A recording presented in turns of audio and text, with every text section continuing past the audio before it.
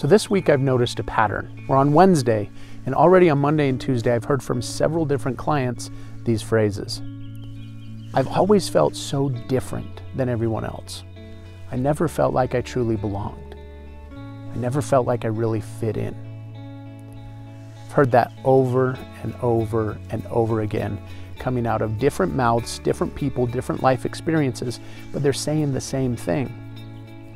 And if you remember about the video I did on Sunday, just a few days ago, you'll remember the message from the sideways tree that we are made different because we have our unique paths.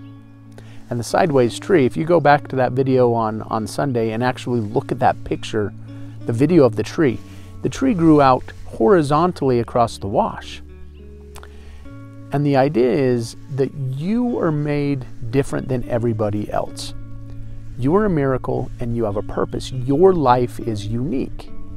If you were to be just like everybody else, we would lose the significance. We would lose some of the color, the vibrancy of this pattern of life. And I think that more often than not, we feel like we have to fit other people's puzzle spots. We think that I my puzzle piece needs to look just like yours and I need to fit in your spot in order for me to be good enough. And we're all trying to become the same puzzle piece. And yet we're in a infinite piece puzzle. And we all have a unique piece to play.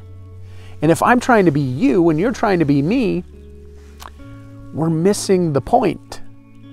We're missing the point. You are made different so that you can make a difference. You are unique. Your life is unique. Everything that you've gone through, your mistakes, your ups, your downs, your mountains, your valleys, the happy times, the sad times, all of it is uniquely designed to help you become who you are born to be and to fit that piece. If we didn't have any mistakes in this life, just just come with me on this this idea for a moment. I want you to close your eyes if you can and just visualize this with me.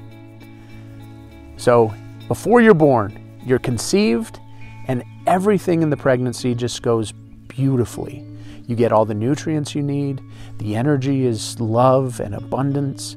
Your mother is healthy and strong. Your her relationship with your father is very loving, and there's no discord, no fighting, no arguments, no negative energy whatsoever. Your mother doesn't uh, experience any pain, and the, the pregnancy goes full term the birth is beautiful. There, everything works out perfectly. There's, there's little pain. You come out and you are just healthy and vibrant. You have your parents that love you. And as you grow, you never experience any hunger because you have everything you need right when you need it. You never even have to feel the pain of hunger because it's given to you before you feel that pain. As you learn to walk, you, you walk right away. You never fall, you never trip, you never get hurt, you never get scraped. As you learn to eat, you get it right away. You never bite your tongue, you never bite the fork. And you're able to just, everything happens beautifully. You never feel any fear, you never feel any pain because you are loved completely. There's no fighting, there's no arguing. And when you start school in kindergarten, all the other kids have lived the same way also. And there's no fighting, there's no arguing in the classroom. Everyone is so nice to you. They treat you with love and respect.